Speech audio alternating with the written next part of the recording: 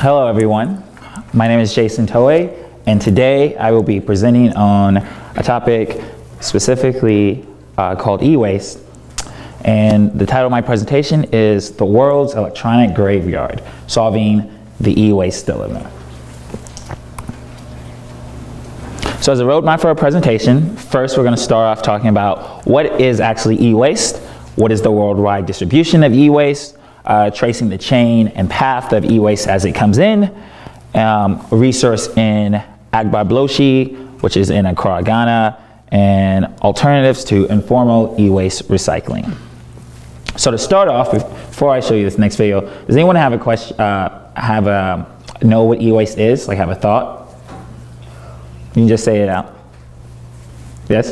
It's like the waste from making computers and then all the silicon chips and stuff. Yeah, so it is uh, waste from any type of technology products. So this video will give you a nice overview. How many phones have you owned? Every year, the world produces 1.4 billion new phones. Stacked up, they reach well past the International Space Station. Here's the thing, those billion new phones will be old phones in two years. So what will happen to them? Now look at your phone. Actually, look inside your phone. It's not just glass, plastic, and metal. It's a huge threat to people and the environment. It's e-waste, the vast global stream of old TVs, computers, tablets, and phones. It's the fastest growing source of waste on the planet. The biggest source of toxic metals in landfills, and the US is the largest producer. In half of all US states, you can just dump e-waste in a landfill. There are no federal laws to regulate what happens to it. Some of it gets shipped to other countries with fewer health and safety laws, posing a risk to the people who recycle it and the air and water around them. Now look at your phone. How long until it's just e-waste?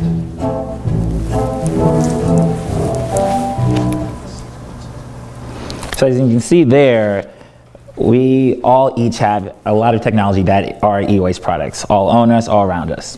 This picture right here uh, is a picture of a mound of computers um, that were being processed for their waste. Specifically, uh, e-waste is unusable electronic uh, equipment. So it's not it's not every single electronic equipment, but it's products that cannot be uh, reused again, resold again. Um, these types of recycling methods to use to process them include dismantling them, which means just physically pulling them apart, as well as a common one is burning the uh, electronics for the metal under them. Um, this includes any electronic products from phones, computers, cell phones, household appliances, as well as cars and refrigerators. So if there's a technolo technological component in anything, it can be considered e-waste.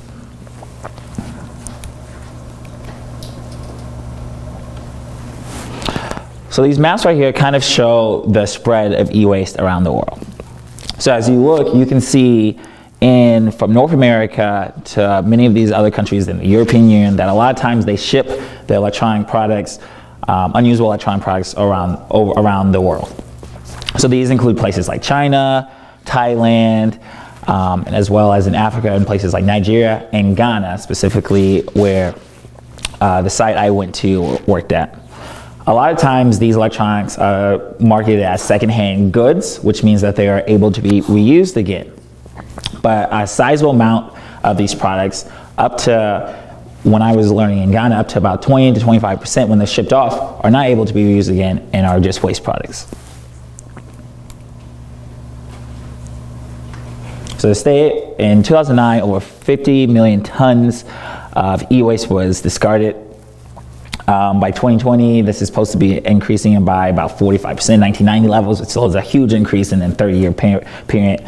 Um, and the key thing is many of these countries that are shipping away these uh, unusable electronic products could actually responsibly recycle them in their country. It would only cost between about six to seven, 12 uh, $12 uh, per ton to um, have them formally recycled. One of the key things is that there, like, we, like the video state, there's not really federal laws or even international laws regulating this. Now, there have been some attempts to regulate, and specifically, the Basel Convention um, was adopted at the sixth meeting of the Conference of the Parties um, um, in 2002. The goal was to prevent the illegal spread of, um, of importation of uh, unusable electronic products. The problem with the Basel Convention is it's not enforceable and it has it so it hasn't really stopped the growth of e-waste. It's just kept it going. So this next part of the talk, we're going to look at tracing the chain. So this is looking at from going from importation of e-waste into a country to final dismantling.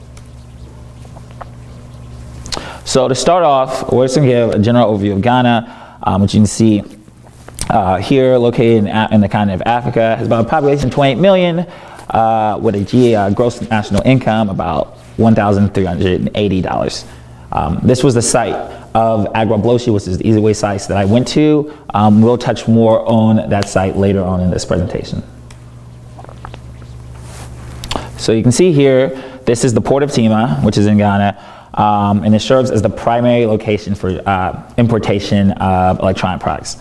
So the port, uh, port of Tema receives 85% of all of Ghana's imports, um, like 10 million tons of total goods.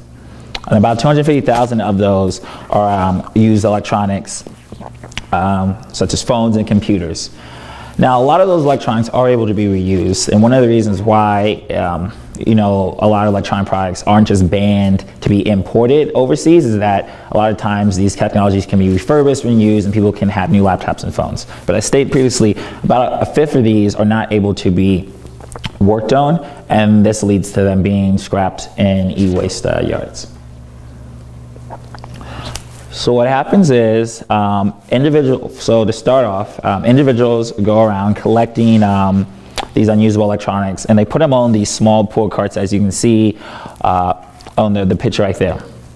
Um, these items, such as like a broken laptop, can be purchased at about $1.25, um, which in Ghana is about 6 cedi, which is their currency. These electronics are often taken to a scrapyard um, to where they are further recycled.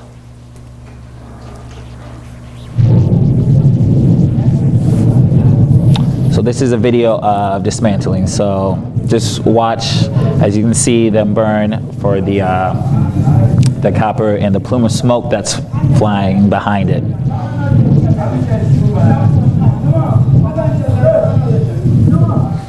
So yeah, so as you can see there, that is uh, one of the most common practices of actually processing electronic waste. So let's say you say you have your computer, so you have your you have your iPad, your MacBook, whatever it may be. A lot of times when it gets to the scrapyard and it's ready to be processed, um, you'll break it apart, um, break, take away a lot of the main practice, um, plastics, and then you'll burn the rest to get to the precious metals such as like the copper that um, reside in it. The problem with this is it creates a lot of air pollution, as you can see by the huge plume of smoke um, and this can lead to a variety of health and environmental issues. Specifically, um, you know, the exposures from this dismantling includes things such as lead, cadmium, and mercury. Um, and because, uh, because um, a lot of these sites uh, Specifically in Ghana, this site was built on a previous lagoon. There's a lot of standing water, um, and it can be a, a host for vector-borne uh, diseases, which can lead to spread of malaria. Additionally, a lot of this times this happens in high crowded areas, specifically in the location in Ghana, it's about 100,000 people living in the scrapyard facilities and around the neighboring slum, and this can lead to um, a host of uh, of uh, infectious disease transmission. If you look at the pictures there, you can see a settlement on the top left, um, which is in the neighboring slum. Um, it talks about, it's been marked by the, uh, the Metropolitan Association to be uh, destroyed um, because they like to destroy the, the slum settlements, but that one hasn't been. Um, mm, there's still many of them up. Um, to the right of that, you can see um, a goat eating some of the trash, and so there's a lot of goats and cows and chickens that are um, at these sites, specifically at this one in Ghana too. You can see another goat, and then that's a marketplace where you can see right in front of the slum, which includes a lot of uh, uh, produce. So those are all, whether it's from eating, breathing the air, drinking the water, eating the produce, eating the animals, um, those are all path, path, pathways to be um, exposed by some of these harmful products. So this leads to a multitude of health effects such as respiratory um, infections, bronchitis, fibrosis. Um, it can scar up lungs. Um, it can lead to COPD, um, cancer. Can lead to a lot of uh, harm in the nervous, digestive systems, immune systems, as well as potential for physical in- injuries with a lot of the uh, hammering um, and, and breaking down of the products.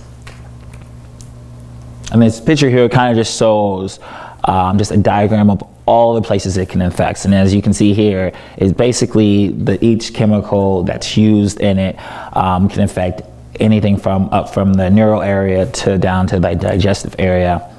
Um, it can lead to a lot of harmful effects.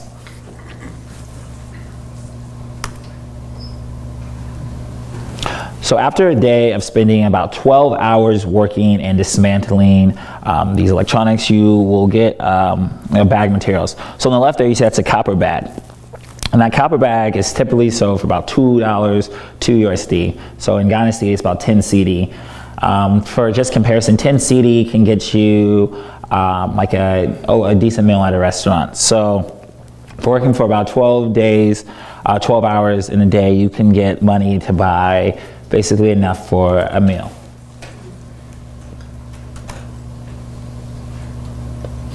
So I'm going to, in this part of the presentation, I'm going to a little more about the research in Agbogbloshie, Ghana. Um, this research was conducted from June to December 2016 um, with the University of Michigan. So my primary uh, question was, what are methods to solve the unregulated electronic waste recycling practices that harm human health and the environment? So one of the key things is uh, we went around conducting a lot of uh, stakeholder interviews um, with people from a lot of the workers to um, the nonprofits to the government to see what are ways that we actually can um, help solve this issue. So just give you a little background. Um, that's what Agua Agbogbloshie used to look like back before um, it turned into the e-waste scrapyard. Um, in 2005, scrap dealers first moved into the area known as, um, that was known as the Korle Lagoon. Um, these dealers started to collect and sell materials um, such as metals. Um, as, as time went on, uh, there people continued to grow, and now there's a hundred thousand people at peak um, in the Agbogbloshie community today. This is kind of a map of the scrapyard and slum. So as you can see on the top left, that's a scrapyard, and that shows you sites of um, where a lot of the uh, recycling takes place. And just right over the river, you can see a huge, uh, a huge um, slum settlement, which houses most of the 100,000 people. Um, and in between, you can see the, uh, the Odaw River, which flows between. I stated, a lot of this, a lot of the materials from the uh, waste can run off into the river and is in the air. The key thing about the slum, as well as there's a, a, host of women and children that are that are living there, which adds to even more vulnerable populations to these exposures. So stated we talked with a lot of stakeholders. So um, some of our stakeholders, first one is doing Black Star Solar, which is a solar company that looks to um, increase uh, electric electricity access to people who currently don't have access to electricity. Um, um, and they stated that they would like to see safety measures um, to help keep these workers safe. Um, Healthy African Child Foundation is a nonprofit that works directly with the e-waste workers, and they really want to see uh, new opportunities um, for the workers, um, workers so that works that new career paths that are, do not just uh, count on e-waste. Um, the University of Ghana, Legon, a lot of the public health research is looking at identifying disposers and identifying the health impacts that are coming from doing this e-waste work. Um, the Ghana Environmental Protection uh, Agency so far placed levy on e-waste shipping. Um, so basically, they're taxing they're taxing uh, uh, shipments of uh, electronic uh, waste into the electronic waste into the country, um, and they're hoping to possibly see um, more solutions on how they can limit that and make it more formalized. And Jekora Ventures, which is a waste recycling company, waste disposal is looking at um, at getting uh, authority to actually collect and recycle the e-waste. Um, and the last list of stakeholders includes Ministries Trade and Industry, which is looking at just a full-on ban of electronic waste. They did this with refrigerators. Um, and they would like to see the area basically cleared up. The National Youth Authority would like to include activities, um, make it a rec center, um, and have the environment clean.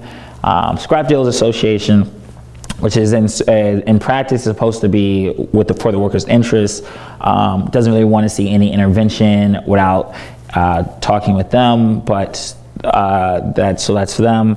And the e-waste workers as a whole want to have, be safe and protected and look for opportunities for advancement. So taking all these into account, I came up with some alternatives um, to formal e-waste recycling. So stated about this ban for the Ministry of Trade Industry, it'd be positive for the environment and pollution reduction. But it would not reduce the number of individuals, um, small businesses that it would reduce the number of individuals that have access to actual usable electronics because you'd be banning all importation of, of electronics. Um, does not address current degradation um, and does not look into um, workers' um, current uh, economic uh, ability. Uh, the waste disposal service, Jekora Ventures, um, if they were to come and just clean up Agbogbloshie, it would improve the environment, um, health, and uh, the land would be clean, but it's short term, doesn't look at the e-waste as a whole, the whole cycle, um, and does, again, not consider the livelihood of workers. Um, this levy from uh, the Ghana EPA, they would also look at making a, a recycling facility, and as well, environmental improvement, health, slow importation, formalizes the process, and pays individuals who would bring in e-waste. So like every person could bring it in and have it formally processed. Um, does not, the key things, it does not necessarily restore the lagoon, and it does not provide alternative for current e-waste workers, um, which could reduce uh, income from those workers. And lastly, you could have a international um, or national developer come in, um, and similar kind of to the, EP, uh, the Ghana EPA, it could formalize the process and clean it up, but it would only provide about 10,000 jobs, which, as I stated, at high peaks, about 100,000 people there. So it's kind of hard. This next segment is an example of what a business can do to recycle. Years of innovation. But true innovation means considering what happens to a product at every stage of its life cycle. Meet Liam.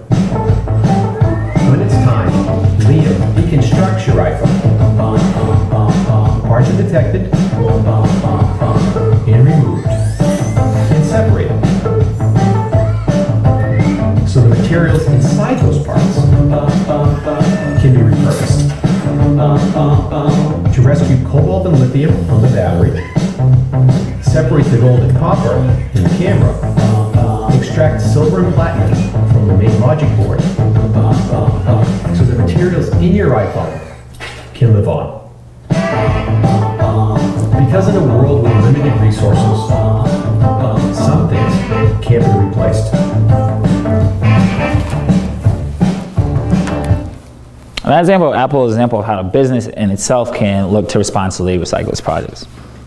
So after analyzing all these things, my main takeaways is that any proposal on electronic waste should look at things from an, an ethical view, an economic view, financial, political, and environmental perspectives. Um, decisions need to highlight who would be helped and who would be hurt, um, as well as the cost of these solutions. Um, they need to look to how they can reduce other issues that are in and around Agbogbloshie due to the um, informal e-waste sectors.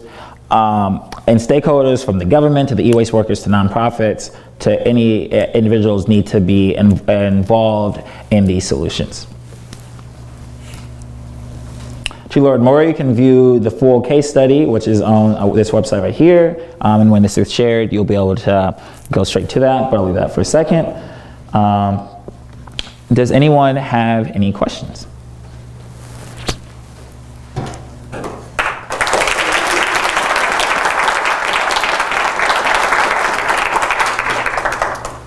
That's back there. Um, so this it's fantastic, but this is a lot from the perspective or the side of, about the countries that are actually receiving the waste. But most of the waste are actually produced by Western European countries and the U.S. And do you think would there be some way to create incentives for countries or companies to actually reduce the amount of waste that's being produced and being shipped to other countries? Or, you know, like, would- is there any work that's been done in that? So, in my thought for that is kind of the view of, for example, like I shared the video, like what Apple does is it's if a company slash country wants to look at, as itself as green or sustainable, then that kind of can help produce it.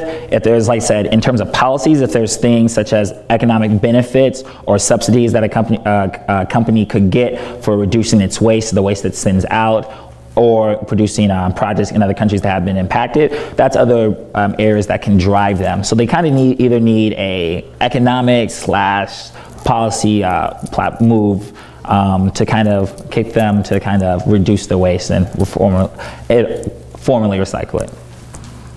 Did you? Um, I noticed in the presentation, and um, e-waste is not the only issue that's affecting um, the world. Uh, We seem to partition, I'm kind of piggybacking off of what the gentleman said uh, previous, prior to me.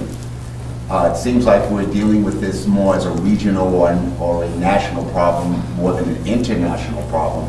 And is there anything that uh, in your research or your thinking that would kind of lend a mindset to the rest of the world that we're connected, maybe even looking at where Ghana is geographically located and what incentive, how could we incentivize the rest of the world to take a position that they are affected in the long run by what's going on in the localized issues that we have, and it's not only e-waste, it's waste, it's, it's global warming, it's, it's a whole conglomerate of things that we're dealing with. So for that, and I'll just repeat the question. Basically, how can we get individuals that are not in these countries, these uh, that are experiencing a lot of the effects of e-waste, um, to actually see that um, these issues like e-waste and climate change and a lot of these environmental problems affect them as well. Um, so my answer to that would be kind of show that, like you said, we all all interconnected. So if I produce, if I um, am shipping a lot of waste to a country and it's hurting their, their individuals, their health there, the environment there, their pollution there, that in itself can hurt that company's economic potential, can hurt the country's health, um, can then lead to them producing less resources that could be used from other individuals as well. These, uh, these impacts as we, like you said, as we, as they spread, um, they're harming people, not just the people there, but everyone else, because as those people get harmed, we are harmed by these impacts. Um, we also now have to use more resources to try to correct these impacts that we could have just prevented. So now we're harmed, health, our country is harmed by economics, this country is harmed by health. Um, so the biggest thing would be kind of to trace the chain of how the products and decisions that we used here affects others in other countries. And we need to look at it from from each business to business and as a nation as a whole, saying how can we work together to limit our waste and produce um, products and actions um, that are beneficial to everyone involved in this system.